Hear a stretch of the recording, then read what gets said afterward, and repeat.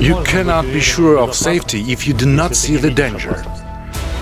How can a pilot guarantee a safe flight if the flight instruments are turned off and the threat of a collision is not tracked on the radar?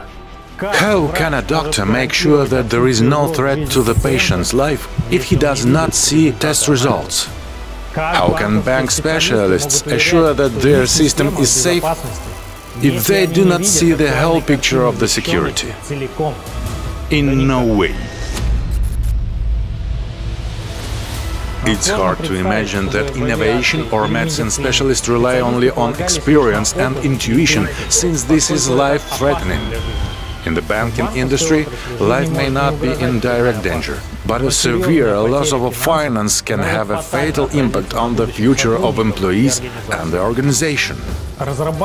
When developing Security Operations Center, we visualized information security processes in real time, created a product thanks to which the operators of the Situation Center can visually manage the process and receive complete information about cyber incidents.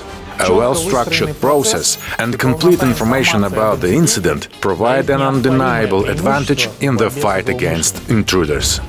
Security Operations Center allows you to see in scale of a building, country or the whole world. Up to 90% of information security incidents are resolved automatically. 100% coverage of the information infrastructure guarantees the absence of white spots, and this is what Security Operations Center should be. Our product provides data exchange with the state and commercial monitoring centers. Imagine a pilot flying without flight instruments. This was possible only at the beginning of the last century. Now flying by the instruments has become the norm. The field of view of human vision and reaction may not be enough to save the lives entrusted to the pilot. Professionalism and experience must be complemented by reliable, high-tech tools. In information, security response time is extremely short.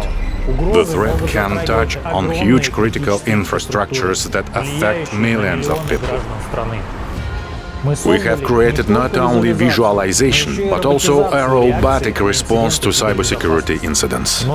But to move to robotic cybersecurity, you need to see the security first.